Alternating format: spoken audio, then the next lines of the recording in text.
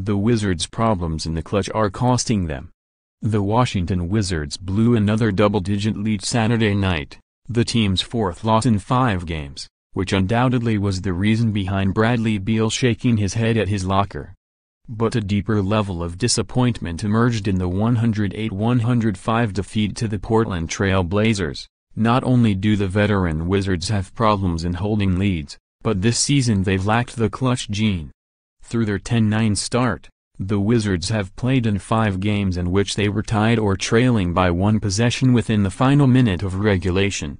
In those situations, the team has missed all 11 attempts from the field, including seven blown three-point attempts, resulting in five losses, according to clutch statistics on NBA.com. No other team in the league has attempted more than six shots in this scenario without hitting at least one bucket. That troubling trend again appeared Saturday night. Washington led the Blazers 94-77 at the 8-14 mark in the fourth quarter, but trailed 106-105 after Portland's C.J. McCollum hit a jumper with 21 seconds remaining in the game.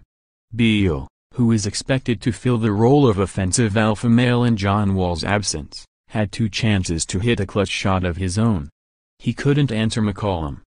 Beal missed a 16-foot pull-up jumper with 6.5 seconds to go, then after Portland hit a pair of free throws and extended the lead to three points, he clanked a game-tying triple off the rim.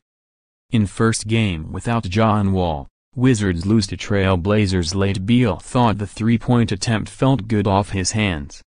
He's made 707 in his career, becoming the youngest player in NBA history to reach that milestone, so he certainly knows a good three when he shoots one, but jostling for a foul might have cost him. Beal searched for contact from defender Shabazz Napier, a call that rarely happens in the closing seconds of the game, forcing him to lean in and host an off-balance shot.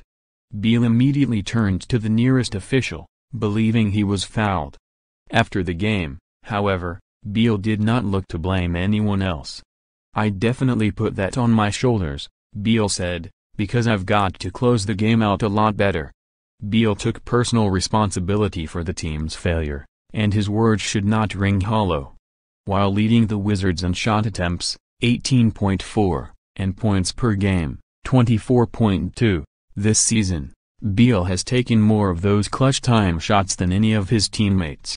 Among Washington's 11 attempts when tied or trailing by three points in the final minute, Beal has missed six of them, including a trio from beyond the arc. Wall, who is expected to sit out approximately two weeks after receiving platelet-rich plasma injections in his inflamed left knee, has missed four shots in those one-possession games, while Jodie Meeks missed a jumper in the final eight seconds during the team's 120-117 loss to the Golden State Warriors on October 27, the game in which Beal was ejected for tussling with Draymond Green in the first half. John Wall reportedly has MRI exam on his left knee while it's one thing to watch a 17-point advantage disappear, as the Wizards did against Portland, it's another to not have a failsafe of shot-making late in a game.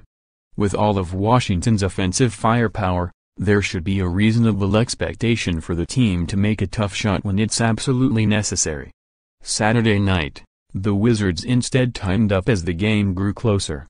Although Washington held a seemingly comfortable seven-point lead in the final 2.30, the team missed its final six shots to close the game.